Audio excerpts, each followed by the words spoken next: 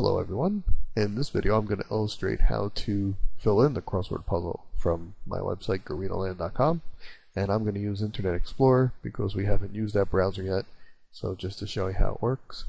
And you do have to go to www.guarinoland.com because if you don't put the three W's and in your Java exception you did list the three W's it sees it as different. So yeah my website would work without the W's. Um, but the Java exception is going to be a problem. So you do need to just be consistent. So if you use the three W's in your exception list in Java, you have to use the three W's here as well. So I'm going to use them because that's what I had done. And I go to Harrison High School and then hardware software. I click on the link for the crossword puzzle. And for some reason, there is no block plugin in Internet Explorer. I don't know if one day months ago. I had enabled this on my website through my Internet Explorer browser or not. I really can't seem to find anything specific on that. So if you have a problem, you have to figure we'll have to figure that out. But I think you'll only have to click run to allow the Java security. And here's the crossword puzzle. It starts off in the top corner.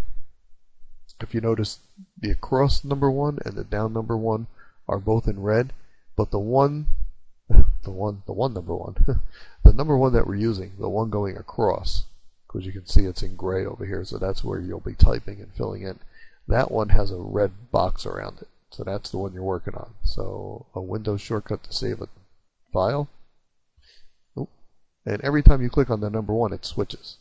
So now it's going across. So Windows shortcut to save a file, Control, and the plus sign in this little program that I use doesn't work. So I have to actually spell out the word plus. So Control plus S. And if you're wondering if it's right, you can always click the check button. And if nothing goes away, then it's right. If you want to do one going down, you can just click here. And now you're ready for the second character of one going down. It's a cartoon, a feline and a canine. And that would be cat dog. Because a feline is a cat and a canine is a dog. And there was a cartoon that had a character that was half cat, half dog. And therefore the name of the cartoon was cat dog. If you were to click uh, over here, because there's only a down on that, you're obviously doing 39 down. If you know you want to do number 15 across, you can find it in the list over here, but sometimes you can go a little crazy, or you can just click on the question, and it'll light that up in red, put a box around it, and light up the boxes that you need to fill in. Let me find another corner just for an example to show there aren't too many corners in this particular crossword puzzle. Hmm.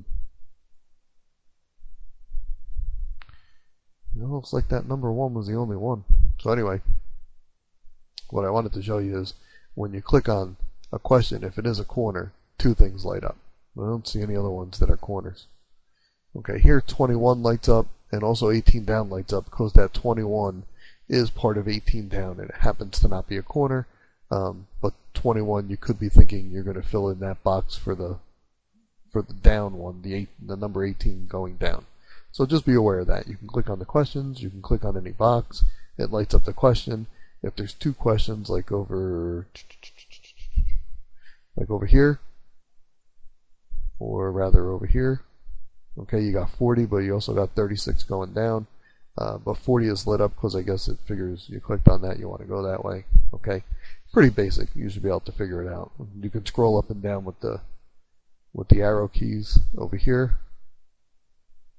And when you're all done, if you filled in everything correctly, you should get a little message that says congratulations, you completed the puzzle. If you don't get that message and you think you're done, click check because maybe you misspelled something.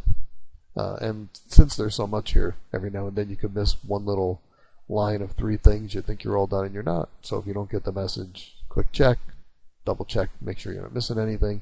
Occasionally, you might not get the message if there's a little glitch, even if you are all done.